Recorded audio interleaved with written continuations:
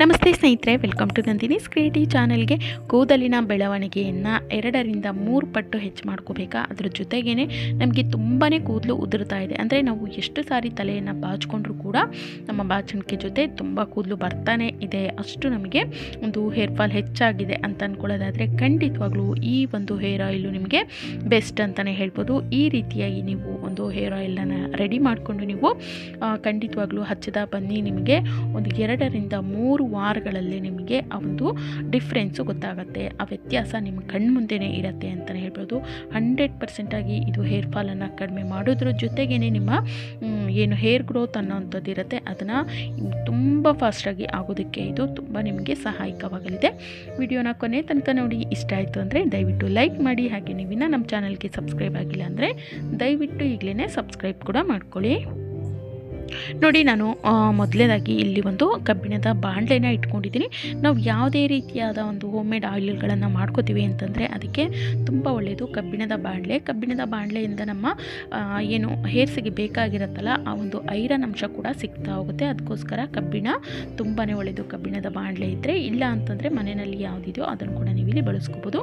ನಾನಿಲ್ಲಿ ಒಂದು ನಾಲ್ಕು ಟೀ ಸ್ಪೂನ್ ಆಗುವಷ್ಟು ಮೆಂತ್ಯನ ಒಂದು ಬಾಣಲೆನಲ್ಲಿ ಹಾಕ್ಕೊಂಡಿದ್ದೀನಿ ಇನ್ನು ಮೆಂತ್ಯ ಅಂದ ತಕ್ಷಣ ಅದು ಒಂದು ರೀತಿ ಕೆಲಸ ಮಾಡುತ್ತೆ ಹೇರ್ ಗ್ರೋತನ್ನು ಹೆಚ್ಚು ಮಾಡುತ್ತೆ. ಅದ್ರ ಜೊತೆಗೇ ಹೇರ್ ಫಾಲನ್ನು ಇದು ಹಂಡ್ರೆಡ್ ಪರ್ಸೆಂಟಾಗಿ ಕಡಿಮೆ ಮಾಡೋದಕ್ಕೆ ನಿಮಗೆ ತುಂಬಾ ಹೆಲ್ಪ್ ಆಗುತ್ತೆ ಅಂತಲೇ ಹೇಳ್ಬೋದು. ಇನ್ನು ಮೆಂತ್ಯನಲ್ಲಿ ಮಿನರಲ್ಸು ಮತ್ತು ನ್ಯೂಟ್ರಿಯೆಂಟ್ಸ್ಗಳು ತುಂಬಾ ಹೇರಳವಾಗಿರುತ್ತೆ. ಅದರ ಜೊತೆಗೇ ಆ್ಯಂಟಿ ಆಕ್ಸಿಡೆಂಟ್ಸ್ ಅಂಶಗಳು ಕೂಡ ಇದರಲ್ಲಿ ಹೇರಳವಾಗಿರೋದ್ರಿಂದ ಇದು ನಮ್ಮ ಕೂದಲನ್ನು ಬುಡದಿಂದನೇ ಗಟ್ಟಿ ಮಾಡೋದ್ರ ಜೊತೆಗೆ ಹೇರ್ ಫಾಲನ್ನು ಕಡಿಮೆ ಮಾಡ್ತಾ ಹೋಗುತ್ತೆ. ಅದ್ರ ಜೊತೆಗೇ ನಮ್ಮ ಕೂದಲಿನ ಬೆಳವಣಿಗೆಯನ್ನು ಕೂಡ ಇದು ತುಂಬ ಹೆಚ್ಚು ಮಾಡೋದಕ್ಕೆ ಸಹಾಯಕವಾಗುತ್ತೆ ಅಂತಲೇ ಹೇಳ್ಬೋದು. ಇನ್- ಇನ್ನು ನೆಕ್ಸ್ಟ್ ನಾನು ಮೆಂತ್ಯ ಜೊತೆಗೇ ಒಂದು ಎರಡು ಟೀ ಸ್ಪೂನಷ್ಟು ಲವಂಗ ಕೂಡ ತೊಗೋತಾ ಇದ್ದೀನಿ. ಇದು ಕೂಡ ಅಷ್ಟೇ ನಮ್ಮ ಏನು ಹೇರ್ ಫಾಲ್ ಹೆಚ್ಚಾಗ್ತಾ ಇರುತ್ತೆ ಅದನ್ನು ಕಡಿಮೆ ಮಾಡೋದ್ರ ಜೊತೆಗೇ ಇದು ಒಂದು ಒಳ್ಳೆಯ ಹೇರ್ ಗ್ರೋತಿಗೆ ಕೂಡ ಸಹಾಯಕವಾಗುತ್ತೆ. ತುಂಬಾ ನ್ಯಾಚುರಲ್ ಆಗಿ ನಮ್ಮ ಕೂದಲಿನ ಬೆಳವಣಿಗೆಯನ್ನು ಕೂಡ ಇದು ಹೆಚ್ಚಿಸೋದಕ್ಕೆ ಸಹಾಯಕವಾಗ್ತಾ ಹೋಗುತ್ತೆ ಅಂತಲೇ ಹೇಳ್ಬೋದು. ಇನ್ನು ಲವಂಗದಲ್ಲಿ ಆ್ಯಂಟಿ ಆಕ್ಸಿಡೆಂಟ್ಸ್ಗಳು ಮತ್ತು ನ್ಯೂಟ್ರಿಯೆಂಟ್ಸ್ಗಳು ತುಂಬಾ ಹೇರಳವಾಗಿ ಇರೋದ್ರಿಂದ ಇದು ನಮ್ಮ ಹೇರ್ ಗ್ರೋತನ್ನು ಹೆಚ್ಚು ಮಾಡೋದಕ್ಕೆ ಸಹಾಯಕವಾಗುತ್ತೆ. ಜೊತೆಗೆ ನಮ್ಮ ಕೂದಲನ್ನು ಬುಡದಿಂದನೇ ಗಟ್ಟಿ ಮಾಡ್ತಾ ಹೋಗುತ್ತೆ. ಜೊತೆಗೆ ಡ್ಯಾಂಡ್ರಫ್ ಹೆಚ್ಚಾಗಿತ್ತು ಅಂದರೆ ಖಂಡಿತವಾಗ್ಲೂ ಡ್ಯಾಂಡ್ರಫನ್ನು ಏನು ಹೊಟ್ಟಾಗಿರುತ್ತೆ, ಹೊಟ್ಟನ್ನು ಕಡಿಮೆ ಮಾಡ್ಕೊಳ್ಳೋದಕ್ಕೂ ಕೂಡ ಈ ಒಂದು ಲವಂಗ ನಮಗೆ ತುಂಬಾ ಹೆಲ್ಪ್ ಆಗುತ್ತೆ ಅಂತಲೇ ಹೇಳ್ಬೋದು. ಇನ್ನು ಲವಂಗದಲ್ಲಿ ಇರುವಂಥ ಆ್ಯಂಟಿ ಇನ್ಫ್ಲಮೇಟರಿ ಅನ್ನುವಂಥ ಅಂಶ ನಮ್ಮ ಕೂದಲಿನ ಥಿಕ್ನೆಸ್ ಅಂದರೆ ಆ ಒಂದು ದಟ್ಟತೆ, ದಪ್ಪವಾಗಿ ಏನು ಬೆಳೆಯೋದಕ್ಕೆ ಬೇಕು ಆ ಒಂದು ರೀತಿಯಲ್ಲಿ ಸಹಾಯ ಮಾಡ್ತಾ ಹೋಗುತ್ತೆ. ಅಂದರೆ ನಮ್ಮ ಕೂದಲಿನ ಉದುರುವಿಕೆಯನ್ನು ಕಡಿಮೆ ಮಾಡೋದ್ರಿಂದ ಏನಾಗುತ್ತೆ? ನಮ್ಮ ಕೂದಲು ದಟ್ಟವಾಗಿ ಕಾಣೋದಕ್ಕೆ ಶುರುವಾಗುತ್ತೆ. ಜೊತೆಗೆ ಅದು ಹೇರ್ ಗ್ರೋತನ್ನು ಕೂಡ ಹೆಚ್ಚು ಮಾಡೋದಕ್ಕೆ ಸಹಾಯ ಮಾಡ್ತಾ ಹೋಗುತ್ತೆ ಅಂತಲೇ ಹೇಳ್ಬೋದು. ನಾನಿಲ್ಲಿ ಮೆಂತ್ಯ ಮತ್ತು ಲವಂಗ ಏನು ಹಾಕ್ಕೊಂಡಿದ್ದೀನಿ ಇದರ ಒಂದು ಎರಡು ನಿಮಿಷಗಳ ಕಾಲ ಮೀಡಿಯಮ್ ಫ್ಲೇಮಲ್ಲಿ ಸ್ವಲ್ಪ ಬಿಸಿ ಮಾಡ್ಕೋತಾ ಇದ್ದೀನಿ. ಅದಾದ ನಂತರ ನಾನು ಈ ಒಂದು ಮೆಂತ್ಯ ಮತ್ತು ಲವಂಗದ ಮಿಶ್ರಣ ಏನಿದೆ, ಇದಕ್ಕೆ ನಾನಿಲ್ಲಿ ಕೊಬ್ಬರಿ ಎಣ್ಣೆ ಹಾಕೋತಾ ಇದ್ದೀನಿ. ಕೊಬ್ಬರಿ ಎಣ್ಣೆ ಹಾಕ್ಕೊಂಡು ಇದನ್ನು ಫ್ಲೇಮನ್ನು ಮಾತ್ರ ಮೀಡಿಯಮ್ ಟು ಲೋ ಫ್ಲೇಮಲ್ಲೇ ಇಟ್ಕೊಬೇಕು.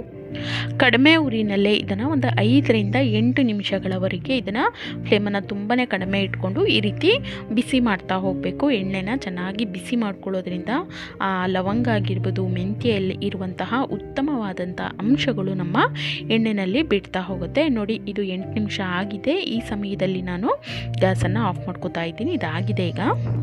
ನೆಕ್ಸ್ಟು ನಾನು ಮೇಲ್ಗಡೆ ಒಂದು ಲಿಟನ್ನು ಕ್ಲೋಸ್ ಮಾಡಿಬಿಟ್ಟು, ಇದನ್ನು ಒಂದು ಎರಡರಿಂದ ಮೂರು ಗಂಟೆಗಳ ಕಾಲನಾದರೂ ಇದನ್ನು ಹಾಗೆ ಬಿಡಬೇಕು. ಅಂದರೆ ಅದು ಕಂಪ್ಲೀಟಾಗಿ ತಣ್ಣಗಾಗಬೇಕು, ಎಣ್ಣೆ ಅನ್ನೋವಂಥದ್ದು ಏನಿದೆ, ಅದು ತಣ್ಣಗಾದಮೇಲೆ ಇದನ್ನು ಒಂದು ಯಾವುದಾದ್ರೂ ಒಂದು ಬಾಟಲ್ಗೆ ಅಥವಾ ಒಂದು ಬೌಲಿಗೆ ನೀವು ಇದನ್ನು ತೆಗೆದಿಟ್ಕೋಬೋದು. ನಾನಿಲ್ಲಿ ಒಂದು ಗ್ಲಾಸ್ ಜಾರಿಗೆ ಈ ಒಂದು ಎಣ್ಣೆ ಏನಿದೆ, ಇದನ್ನು ಹಾಕೋತಾ ಇದ್ದೀನಿ. ಇದನ್ನು ಶೋಧಿಸುವಂಥ ಅವಶ್ಯಕತೆ ಇಲ್ಲ. ಯಾಕಂದರೆ ನಾವಿಲ್ಲಿ ಹಸಿ ವಸ್ತುಗಳನ್ನು ಏನೂ ಹಾಕಿಲ್ಲ. ಮೆಂತ್ಯ, ಲವಂಗ ಹಾಕಿರೋದ್ರಿಂದ ಅದರ ಸಮೇತನೇ ನಾನು ಹಾಕ್ತಾ ಇದ್ದೀನಿ. ಇದು ಎಣ್ಣೆಯಲ್ಲಿ ಹಾಗೆ ಇದ್ದ ಹಾಗೂ ಅದರ ಒಂದು ಅಂಶಗಳು ಎಣ್ಣೆಯಲ್ಲಿ ಬಿಡ್ತಾ ಹೋಗುತ್ತೆ. ನಾವು ಯಾವಾಗೆಲ್ಲ ಇದನ್ನು ನಮ್ಮ ತಲೆಗೆ ಹಚ್ಕೋಬೇಕು ಅನ್ಕೋತೀವೋ ಆವಾಗ ನೀವು ಎಣ್ಣೆನ ಸ್ವಲ್ಪ ಡಬಲ್ ಬಾಯ್ಲರ್ ಮೆಥಡಲ್ಲಿ ಉಗುರು ಬೆಚ್ಚಗೆ ಮಾಡಿಕೊಂಡು ನೀವು ಒಂದು ಎಣ್ಣೆನ ಹಚ್ಕೋಬೋದು. ಇನ್ನು ಈ ಒಂದು ಎಣ್ಣೆನ ನೀವು ಒಂದು ತಿಂಗಳಿಂದ ಒಂದೂವರೆ ತಿಂಗಳು ಅಥವಾ ಎರಡು ತಿಂಗಳ ಕಾಲ ಕೂಡ ನೀವು ಸ್ಟೋರ್ ಮಾಡಿಟ್ಕೋಬೋದು. ಏನೂ ಹಾಳಾಗೋದಿಲ್ಲ, ಜಾಸ್ತಿ ಪ್ರಮಾಣದಲ್ಲಿ ಬೇಕಾದರೂ ಮಾಡ್ಕೋಬೋದು, ಅಥವಾ ಸ್ವಲ್ಪ ಸ್ವಲ್ಪನೇ ಮಾಡಿಕೊಂಡು ಹಚ್ಕೋತೀವಿ ಅಂತಂದರೂ ಕೂಡ ನೀವು ಮಾಡ್ಕೋಬೋದು. ಈ ರೀತಿ ಒಂದು ಏರ್ ಟೈಟ್ ಬಾಕ್ಸಲ್ಲಿ ಹಾಕ್ಕೊಂಡು ನೀವು ಇದನ್ನು ಒಂದು ಎರಡು ತಿಂಗಳ ಕಾಲ ಸ್ಟೋರ್ ಮಾಡ್ಕೋಬೋದು. ಇನ್ನು ಇದನ್ನು ಹಚ್ಕೋತೀವಿ ಅನ್ನೋಂಥ ಸಮಯದಲ್ಲಿ ಸ್ವಲ್ಪ ಉಗುರು ಬೆಚ್ಚಗೆ ಮಾಡಿಕೊಂಡು ನೀವು ಕೂದಲಿನ ಬುಡದಿಂದ ತುದಿ ತನಕನೂ ಹಚ್ಕೋಬೇಕಾಗತ್ತೆ.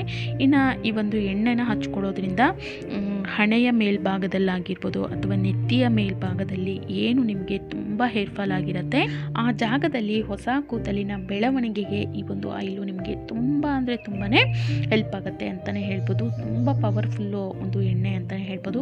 ಲವಂಗವನ್ನು ಬಳಸಿರೋದ್ರಿಂದ ಖಂಡಿತವಾಗ್ಲೂ ಇದು ಕೂದಲನ್ನು ತುಂಬ ದಟ್ಟವಾಗಿ ಬೆಳೆಯೋದಕ್ಕೆ ಸಹಾಯಕವಾಗೋದಲ್ಲದೆ ಉದುರಿರುವಂಥ ಜಾಗದಲ್ಲಿ ಹೊಸ ಕೂದಲಿನ ಬೆಳವಣಿಗೆಗೂ ಕೂಡ ಇದು ನಿಮಗೆ ತುಂಬ ಅಂದರೆ ತುಂಬಾ ಹೆಲ್ಪ್ ಆಗುತ್ತೆ ಅಂತಲೇ ಹೇಳ್ಬೋದು. ಇದನ್ನು ನೀವು ವಾರದಲ್ಲಿ ಮೂರರಿಂದ ನಾಲ್ಕು ಸಾರಿನಾದರೂ ಹಚ್ಕೋಬೋದು. ಇನ್ನು ಇದನ್ನು ನೀವು ಒಂದು ನಲವತ್ತರಿಂದ ನಲವತ್ತೈದು ದಿನಗಳವರೆಗೆ ಈ ಒಂದು ಎಣ್ಣೆನ ಹಚ್ಚುತ್ತಾ ಬನ್ನಿ. ಖಂಡಿತವಾಗ್ಲೂ ನಿಮಗೇ ಒಂದು ಆಶ್ಚರ್ಯ ಅನಿಸುತ್ತೆ. ಅಷ್ಟು ಚೆನ್ನಾಗಿ ನಿಮ್ಮ ಕೂದಲಿನ ಬೆಳವಣಿಗೆ ಆಗಿರುತ್ತೆ. ಅದರ ಜೊತೆಗೇ ಹೇರ್ ಫಾಲನ್ನು ಕೂಡ ನೀವು ಹಂಡ್ರೆಡ್ ಪರ್ಸೆಂಟಾಗಿ ಕಡಿಮೆ ಮಾಡ್ಕೊಳ್ಳೋದಕ್ಕೆ ಈ ಒಂದು ಎಣ್ಣೆ ನಿಮಗೆ ತುಂಬಾ ಹೆಲ್ಪ್ ಆಗುತ್ತೆ ಅಂತಲೇ ಹೇಳ್ಬೋದು.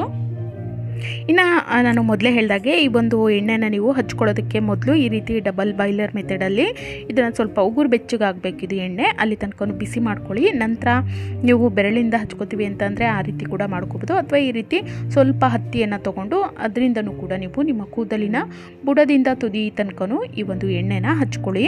ಹಚ್ಕೊಂಡು ಒಂದು ಎರಡು ಗಂಟೆಗಳ ಕಾಲನಾದರೂ ತಲೆಯಲ್ಲಿ ಹಾಗೆ ಇಟ್ಕೋಬೇಕು.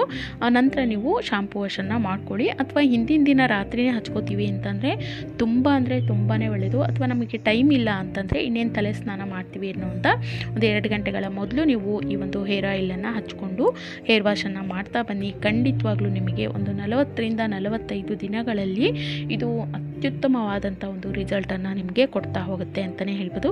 ಇನ್ನು ಈ ಒಂದು ವಿಡಿಯೋ ನಿಮ್ಗೆ ಏನಾದರೂ ಹೆಲ್ಪ್ಫುಲ್ ಆಗುತ್ತೆ ಅಂತ ಅಂದ್ಕೊಳ್ಳೋದಾದರೆ ಖಂಡಿತವಾಗ್ಲೂ ಲೈಕ್ ಮಾಡೋದನ್ನು ಮರಿಬಾರ್ದು. ಹಾಗೆ ನೀವು ಇನ್ನೂ ನಮ್ಮ ಚಾನಲ್ಗೆ ಸಬ್ಸ್ಕ್ರೈಬ್ ಮಾಡ್ಕೊಂಡಿಲ್ಲ ಅಂದರೆ ದಯವಿಟ್ಟು ಈಗಲೇ ಸಬ್ಸ್ಕ್ರೈಬ್ ಕೂಡ ಮಾಡ್ಕೊಳ್ಳಿ. ಹಾಗೆ ಸಪೋರ್ಟ್ ಮಾಡಿ. Thank you